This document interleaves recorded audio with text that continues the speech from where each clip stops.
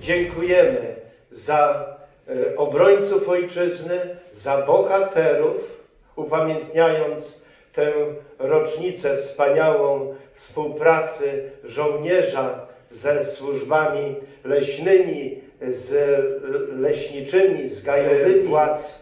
Chcemy powiedzieć Bogu, że te instytucje też e, chcemy, by były dzisiaj m, bardzo mocne duchem, bardzo gotowe przelewać może nie krew, ale e, prawość umysłu.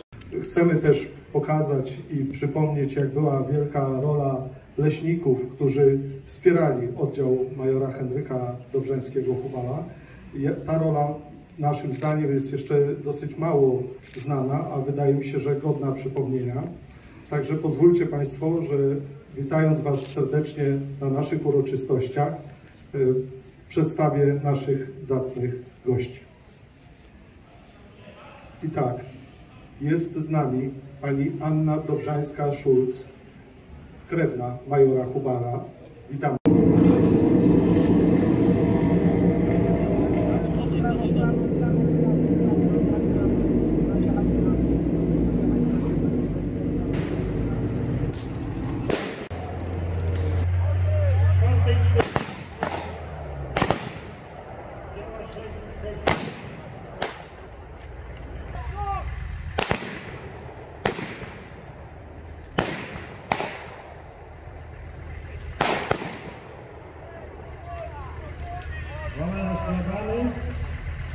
Likwidowano posterunki graniczne, masa wojsk niemieckich zalała Polskę.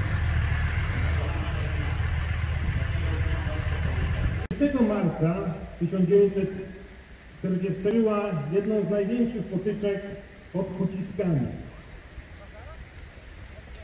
Przypatrzmy się, jak to zdarzenie realizowane będzie przez naszych rekonstruktorów.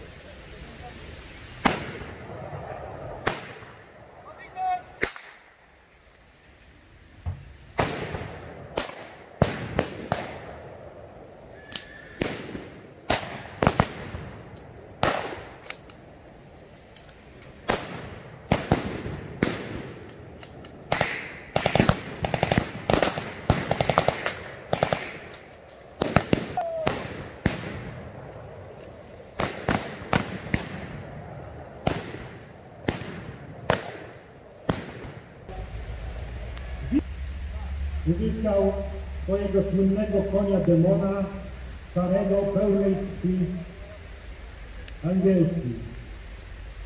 Ostatniego dnia swojego życia jeździł major poddański Kubal.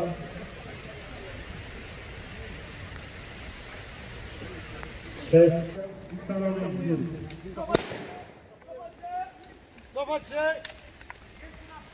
Niemcy znaleźli ciało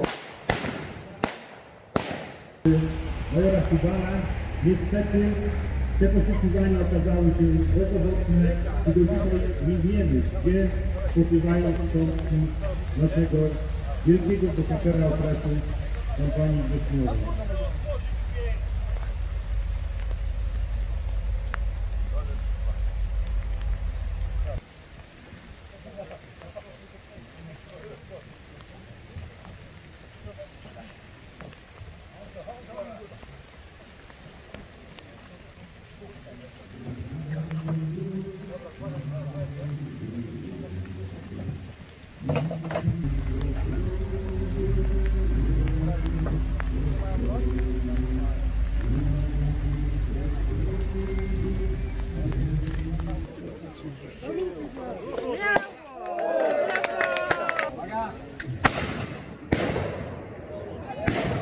U pilotów myśliwskich, czyli umiejętność podejmowania szybkich decyzji, szybka orientacja i cięcie z góry, cięcie z dołu, z góry.